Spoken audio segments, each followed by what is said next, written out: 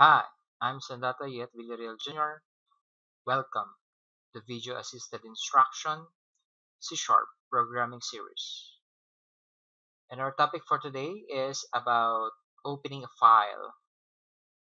So point to file, next to new, then click project. Now you can go to empty project, rename the project file into an open file, then click OK. So the Solution Explorer of this Sharp created for you is right here. Okay, so what you need to do next is to right click on the open file that we've created. You can point to add and you can click new item. Then afterwards you can click code file and you can rename this code file 1. So open file. Let's click add. And right now we have the uh, environment of the uh, C Sharp. Let's do the code using system. Using system.io okay so this is for the input and output code. Next we have public class open file begin and end okay? In the middle of this we have public static void main okay? Then we have begin and end also okay? In the middle of this is the code block okay? Of opening the file uh, we have okay so what we need to type here is to declare the data type we have to read the content of flex. Let's proceed. String path okay is equals to null. Okay, press tab. Next is console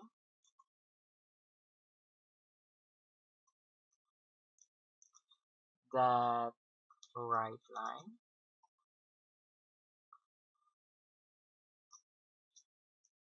Okay so let's put here you need to type the path of the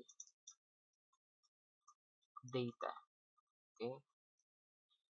Next we have the path which is equals to console dot read line next we have the stream reader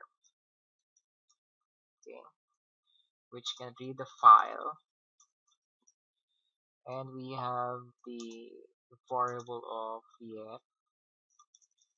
So let's type here file dot open text that's it. In parentheses. We have the word oops. So the path is capital good. Next we have the while statement. Let's type here. Yet that read line close is not equal to null force so let's put here begin and end okay. so next we have console that write line is equals to uh, yet that read to n. that's it. Open close parenthesis so I think this is perfect. So what we need to do right now is to click debug and start debugging and compiling build succeeded right here. So the next step is to type the path where the file it is okay and right now what we need to do is to create a file. Right click new then uh, let's go with text document. Okay so let's uh, replace this with some data dot text. Double click right here.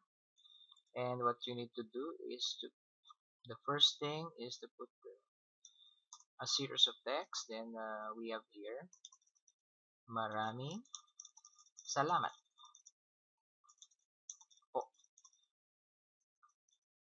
okay so we have 23 times. Okay so let's check out. And this is the end of file. Then let's click file then save close. Okay what we need to do is to right click here. We're going to open this. We have here the series of text. Right click properties and you can go right here. Copy and paste. Then let's type some data.text okay let's close this one. Let's check if we'll take the output on the C sharp press enter. That's it. Maraming salamat po. 23 34 4 5 6 7 this is the end of the file. Double click. Okay it is the same. Hoping this can help you. And uh, Thank you for your time watching this video. For more videos, look for my email, syvillarrealjr0105 at yahoo.com.ph. Good luck.